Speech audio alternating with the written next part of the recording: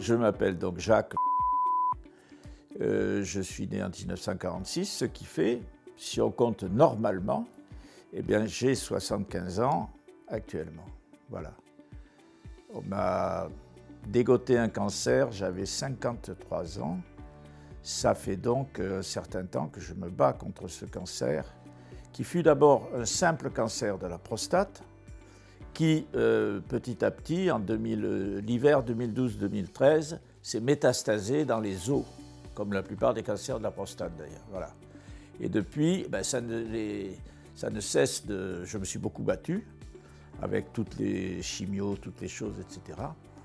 Mais là, je suis dans une phase où les métastases euh, sembleraient prendre le dessus. Mais, mais, je ne me laisse pas faire. Comment avez-vous découvert votre maladie? Alors écoutez, ça c'est une histoire amusante, si on peut dire, et tout à fait euh, par hasard. Alors là aussi, eh bien, mon généraliste sur la région parisienne, c'était à Paris, mon généraliste que je connaissais depuis 20 euh, ans, euh, enfin, oui, je peux donner son prénom, Serge, plus, plus commode, me dit un jour, dis donc, on n'a jamais regardé la prostate. Alors je lui dis, écoute, je te vois venir, tu vas en profiter pour... Arrête de déconner, me dit-il.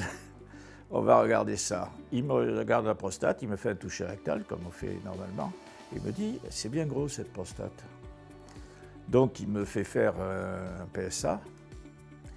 Euh, et je reviens avec ses analyses de PSA. Je ne savais même pas ce que c'était, moi. Et je le vois, il regarde les résultats. J'avais 195. Moi, ça ne me, disait rien du tout.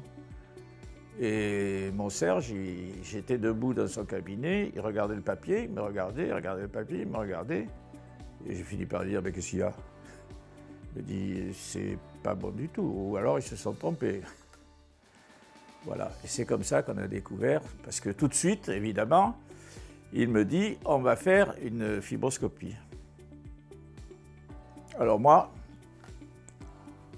toujours envie de rigoler, j'ouvre mon carnet, je lui dis, attends, là, cette semaine, je ne peux pas, j'ai une réunion de machin, là, je suis en train d'écrire ceci, je suis en train d'écrire...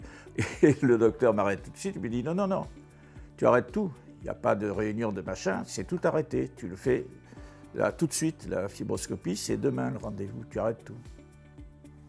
Ça fait un choc. Et évidemment, le résultat, c'est, et voilà, cancer de la prostate. Voilà comment j'ai appris que j'avais un cancer. Et à l'époque, ce n'était pas du tout métastasé. Alors j'ai fait le parcours classique. Hein, euh, alors d'abord un premier hôpital où on m'a reçu, où on m'a pris. C'est mon docteur, évidemment, mon généraliste qui m'a envoyé là-bas. Euh, ensuite, évidemment, j'ai eu droit aux radiothérapies.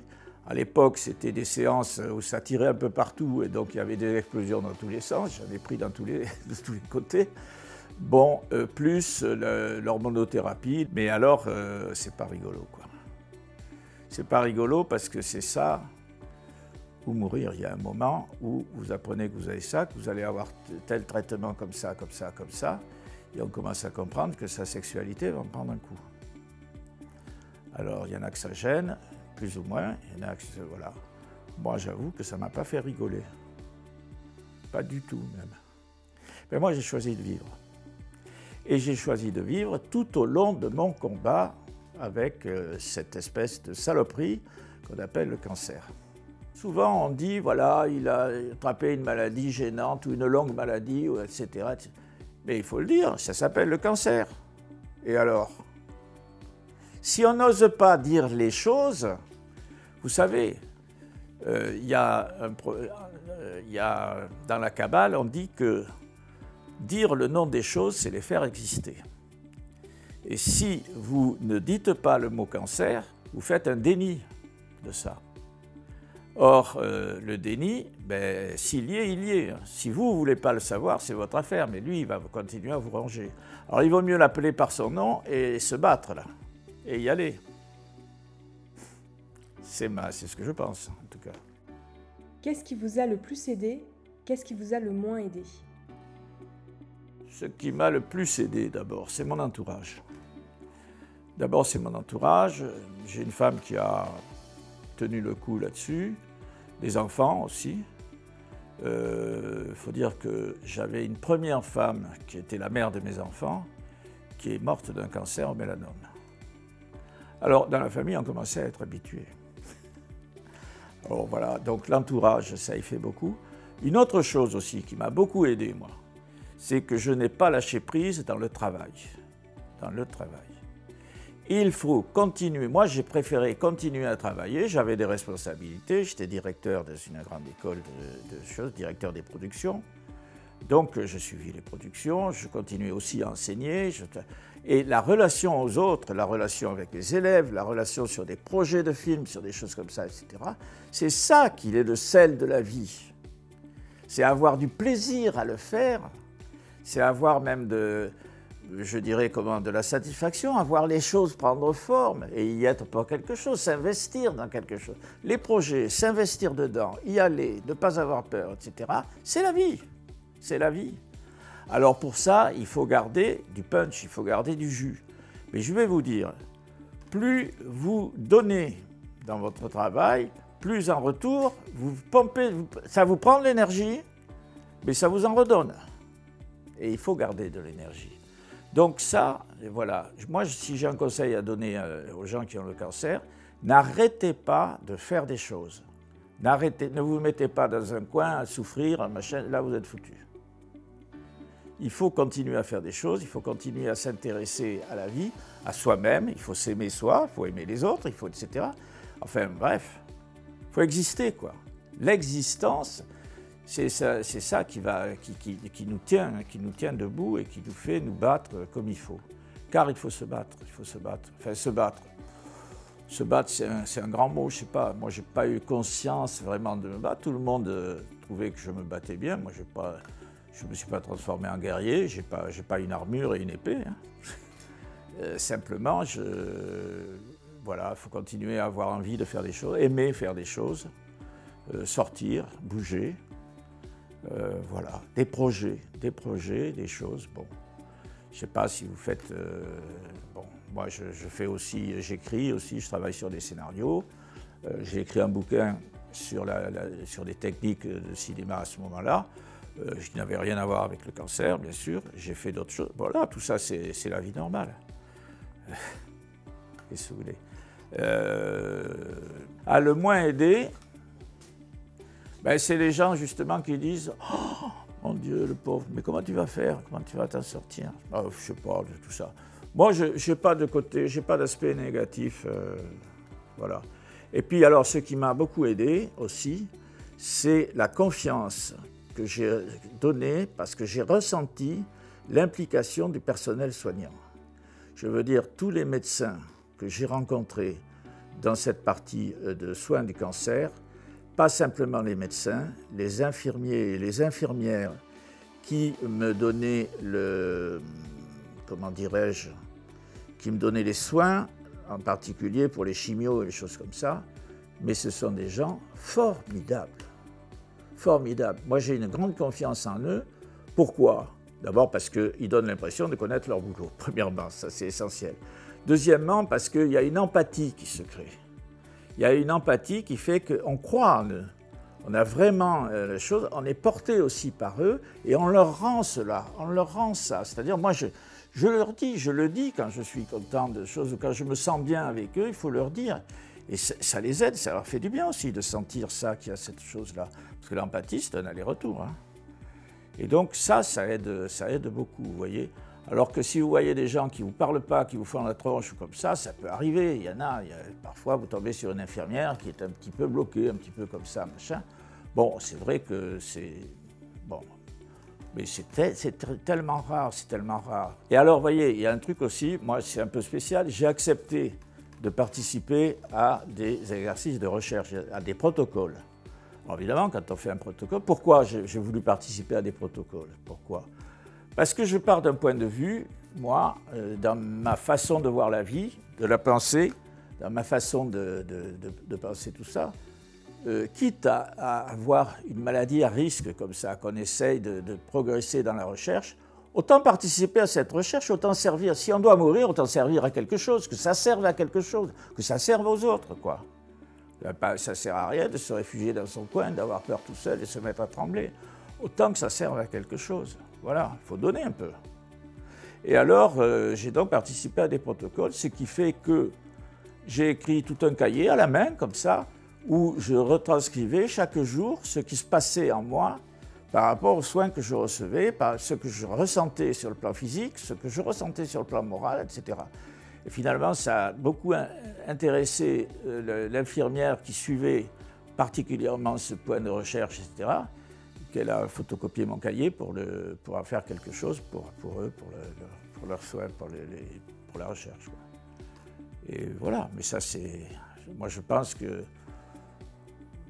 Enfin, c'est pas glorieux, ça n'a pas un truc, ça me paraît normal, moi, de faire ça, vous voyez. Je pense que beaucoup de gens devraient le faire. Quel conseil donneriez-vous aux patients? Alors, le conseil que je peux donner aux autres patients, ne croyez pas que tout est fini. Au contraire, tout commence, car c'est une autre vie qui commence. Mais c'est une vie très intéressante parce que justement, on se trouve mis dans des difficultés qu'on ne connaissait pas et que tout d'un coup, il y a une chose qui est extraordinaire dans notre vie, à nous. On a l'impression de vivre comme si on était éternel. Donc on se fout de tout, on est éternel, on est machin, etc., tout va bien.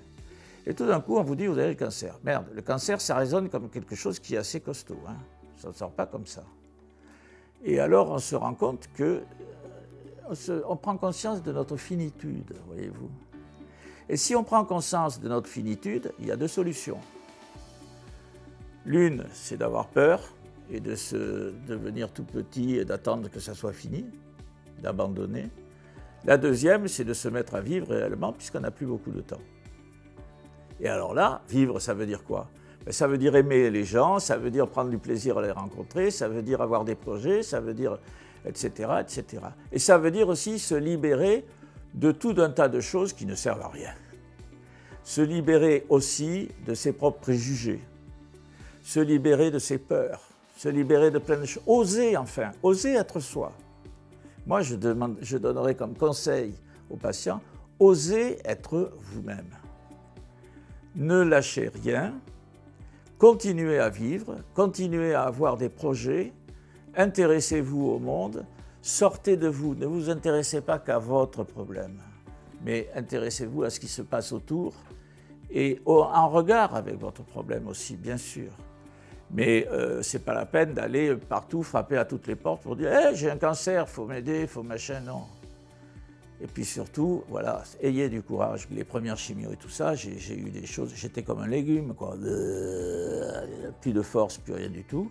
Quand je pense que quelquefois, pour passer un simple coup de fil, il fallait que je prenne toutes mes forces à moi, j'en avais pour une heure et demie avant de me décider à pouvoir passer un simple coup de fil. Parce que j'étais fatigué, parce que j'étais comme ça. La morphine m'avait complètement assommé aussi. Euh, voilà. Alors il faut tout faire pour ne pas se sentir légume, bien sûr, mais il y a des moments où c'est comme ça. Il faut l'accepter aussi. Il faut l'accepter.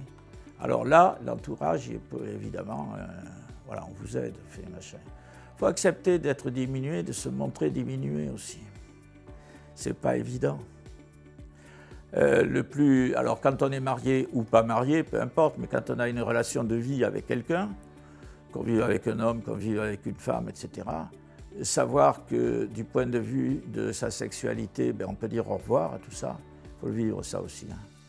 Ça, il faut le vivre. Mais qu'est-ce que vous voulez?